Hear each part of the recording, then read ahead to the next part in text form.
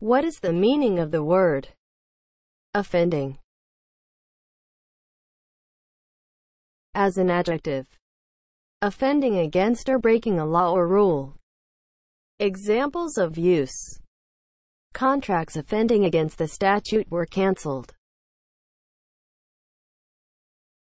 Offending is spelled O F F E N D I N G. Offending